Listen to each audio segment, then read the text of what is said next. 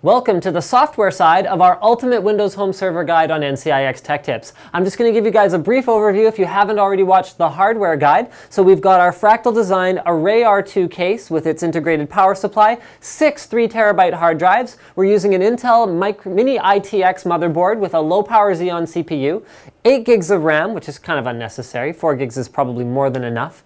Uh, we've also got an LSI RAID card, which is a hardware RAID 5 solution that we're using for those six hard drives to achieve an enormous amount of storage space. More on that in just a moment. And finally, we've got some Kingston memory. And then for the boot drive, we're using an Intel 520 series 240 gig SSD, just for the ultimate in reliability for the boot drive of the system itself. So stay tuned and we're going to show you what you can do now that you've assembled the hardware with the software aspects of Windows Home Server 2011.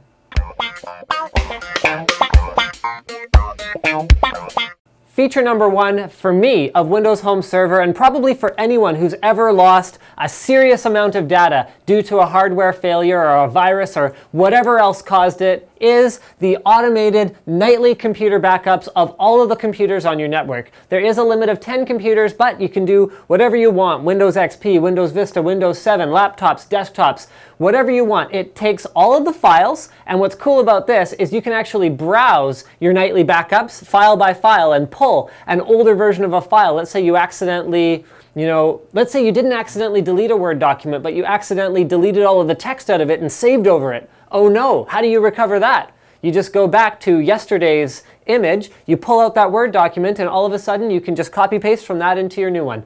Perfect, right? It also saves a backup of the entire Windows OS. So that means just by taking a disk, popping it into the computer, so you have a hard drive fail, you throw in a new hard drive, you take your disk, you put it in there, you copy the entire OS from the Windows Home Server over the network, and your computer is restored to exactly the way it was before it failed. This has saved my bacon already several times in the last couple years. I've had hard drives fail in my Windows Home Server, haven't lost any data. I've had hard drives fail in my computers. I haven't lost any data other than, you know, my web browsing history from that particular day because it backs up every single night.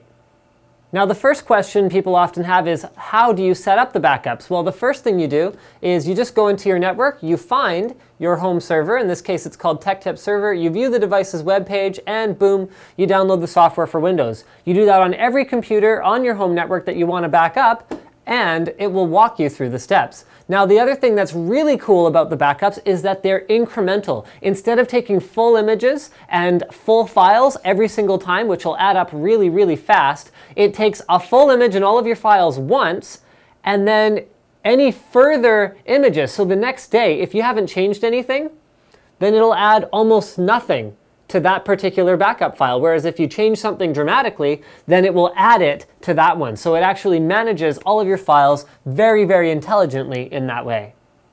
Now, one other feature of Windows Home Server that I personally use all the time is remote access. It's really easy to get going. All you have to do is click turn on, and if only it was that easy to get things going, just click the turn on button with everything, am I right, guys? You click turn on, and as long as you have a UPnP enabled router, no problem. It's all set up. So what remote access allows you to do is a couple different things. Now, I want you guys to bear in mind that for the purposes of this demo, I'm using my own Windows Home Server, which is at home. This is Windows Home Server v1. This is the older version, so it might look slightly different with 2011 you have access not only to shared folders, so you can access all the different shared folders on your Windows Home Server, but also, check this out, computers. So I can log into any one of my supported computers since I'm using all Windows 7 Ultimate. They all support remote desktop connection. I'm going to go ahead and I'm going to log into my media PC. I'm going to select modem just for quickness. I can enable files to be transferred from the remote computer to this computer. So hey guys, if you ever run into a situation ever again, oh, I left that PowerPoint file I needed on my desktop, log right into your desktop, click connect. Here we go. And all you got to do is drag and drop it from your remote desktop connection here onto the desktop of the computer that you're actually working from. Pretty cool, hey? Now let's talk storage. Those other things are cool and very, very useful, but the Windows Home Server is the cornerstone of your digital storage life. In my home, I have about five PCs, not a single one of which has a storage hard drive in it. They are all running SSD boot drives, and that's it. Everything else is accessed over my Windows Home Server because using a gigabit network connection, I can easily stream or transfer files whenever I need them on demand from the Windows Home Server. This adds a few benefits. Number one is that it's safe. You can see here the Windows Home Server we have configured has almost 14 terabytes of usable storage space, that is a RAID 5 array, of safe storage space. Even if a drive physically fails, I'm not going to lose my data. I have a chance to swap in a new drive and repair it that way. So that's really cool. Also, you eliminate that issue that everybody has where you take your, your vacation photos and you copy them onto your laptop to show someone and you copy them onto your desktop to archive them and you don't know which photos are where and you can't keep track. You're, you're duplicating your storage. You're not giving yourself the full value of all the storage you have. Plus, things can easily get lost in the mix. If you decide, oh no, I've got these on my desktop and you delete them, maybe some of them weren't there. You keep all your storage centralized, you don't have that problem anymore. So let's talk about the performance. I said I use a gigabit connection, and a gigabit connection is definitely enough for me. So I've got uh, Corsair Showcase. This is a Tech Tips episode. It's a video file. I'm going to go ahead, I'm going to copy that from the desktop here, connected via gigabit to the Windows Home Server. We are getting transfer speeds in excess of 100 megabytes per second. So it's almost as fast as local mechanical storage, except you have all that additional convenience. You can then easily stream it directly off the home server, instantly like that. Now we had this demo running in the background where we were creating an image of this machine onto the Windows Home Server. Now we're going to actually restore files or folders from that machine. So we can see the manual backup we created. Next, I don't have anything on volume G, so we're going to use volume C. It does take a little while to open up the volume because there's some compression involved to save space, so that's going to use the CPU on your Windows Home Server. The CPU on your Windows Home Server isn't terribly important, but this is one thing that it does help with if you have a more powerful CPU, or if you have, um, say for example, something like Air Video Server running on your Windows Home Server to stream movies and transcode them on the fly, that can benefit from a better CPU as well. So you can see right here, we end up with the entire directory structure of the computer that was backed up. If we go into the documents, we can see, oh, you know, oh, my Battlefield 3 save game, it got corrupted and blah, blah, blah, I need to get it back. All I gotta do is click next, and I can restore it to any directory I want, and the wizard will copy the files to your computer just like that. We've only talked about storage so far. What about other aspects of your computers? What about little Sally's PC? Little Sally never updates her antivirus. How are you gonna know if you have to go in there and do it for her or like yell at her until she does it herself because the last thing you want to do as the IT guy in your household is run around removing viruses. It's much easier to be proactive about it. Windows Home Server helps you with that because from the main console, all you have to do is look at any alerts for a PC on your network. So we're going to go ahead and view the alerts for this computer.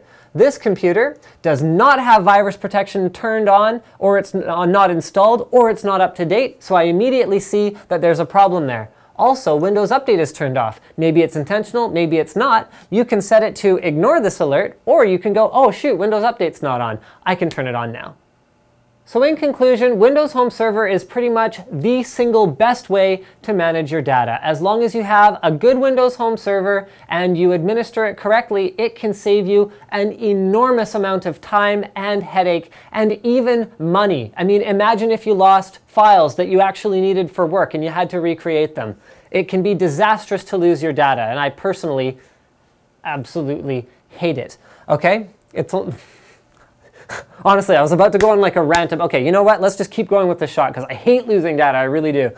Um, so anyway, one of the other things that Windows Home Server uh, gives you a fine amount of control over is user accounts. So here I'm setting up an account for Slick Camera Dude, and I'm giving him access, whether it's read, write, read only, or no access, to any of the shared folders on the Windows Home Server. He also gets his own little folder that'll be created, and then subsequent users can either be given or not be given access to those folders. So you can control who sees what and when.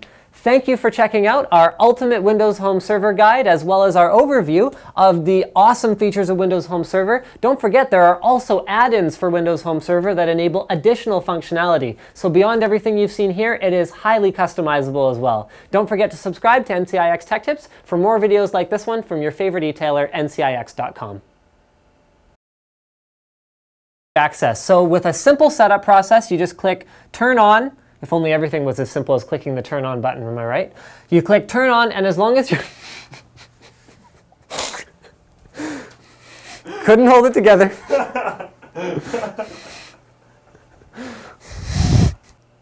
Shot three, remote access. Now one...